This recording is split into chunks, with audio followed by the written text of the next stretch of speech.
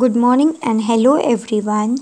Myself, Mrs. Meghna Pelkar, would like you to welcome to Advocate Bapu Sahib Bonde High School. Today we are going to celebrate the festival of Janmashtami in our school. So let's come and see what is Janmashtami and why it is celebrated.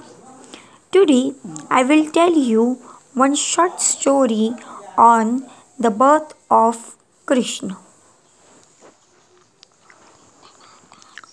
A long time ago in Mathura, there was a king named Kans who was infamous for his greed and unfair rule.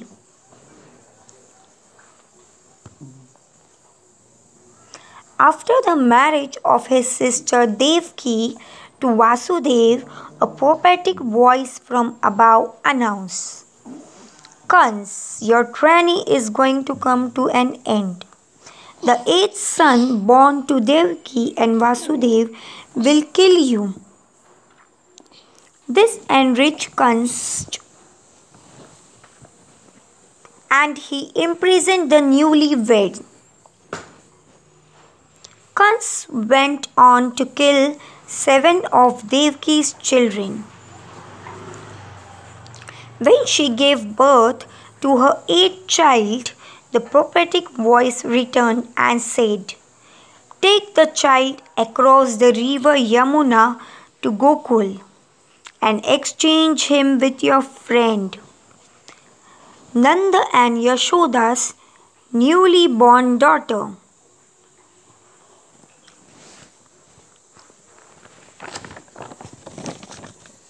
Vasudev looked down to realize his hands has been unchained.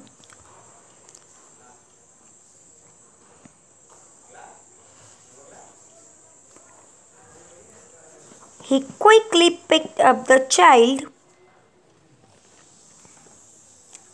and put it in, in a basket. Arriving at the gates to find them open and on their own, the guards asleep.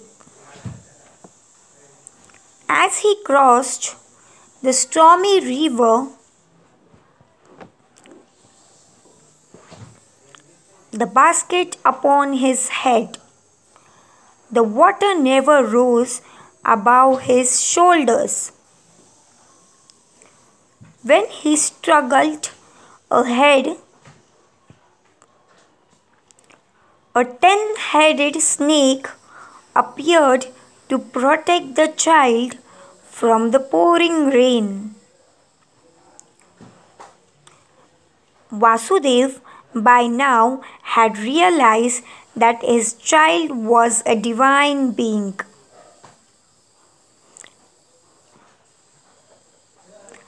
At Nand's house, Vasudev switched the children and returned back to the prison.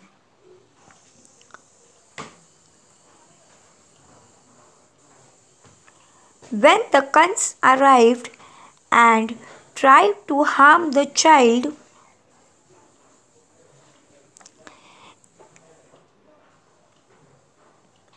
it took the form of goddess Durga. And said, The eighth child who is going to end your region of terror has been born and will fulfill his prophecy.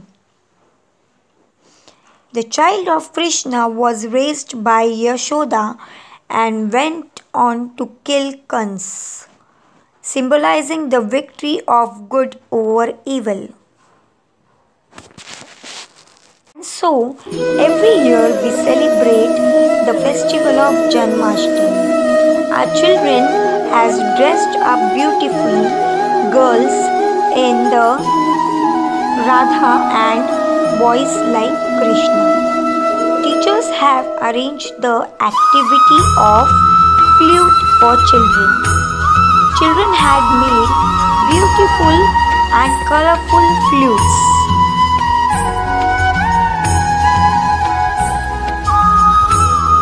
Teacher has also arranged the activity and we have beautifully